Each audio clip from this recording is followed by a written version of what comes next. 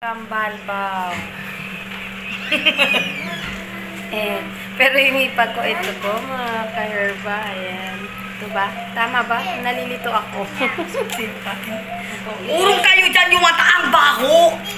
Ah, ah, ano ang Yan, sila po kasi yung nagkukulay talaga sa buhok ko kahit nandun sa Makati pa ako. Ayan sila Urong kambal. si Yuwan, ang tigas ang baho Yuwan! Ano to yung, anong kulay? Gray? Gray. Light gray.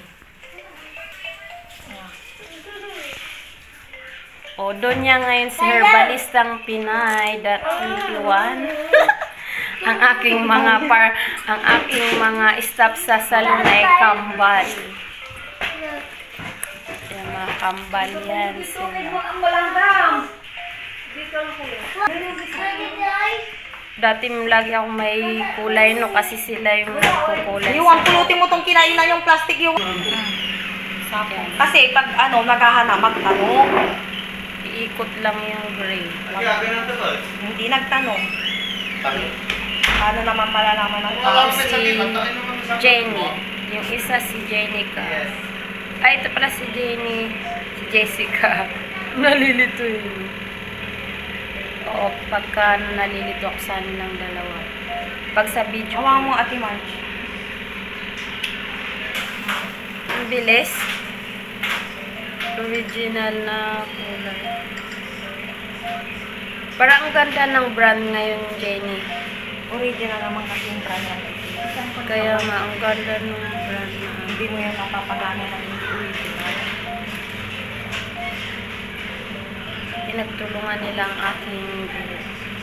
Ngayon lang ulit nila ako napapaganda eh. Sobrang tagal na. No? 2017 pa ata yun. 16, 2016. Ngayon ko lang ulit sila Sa ilalim. nakasama.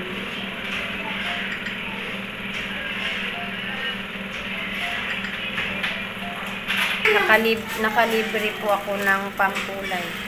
Kasi yung tita nila may salon po dito sa Ordanita. Anong name ng ano? Ipag Blues Parlor. Ha? Blues Parlor. Blues Parlor sa may Ordanita mismo. Pangon Street. Pangon Street.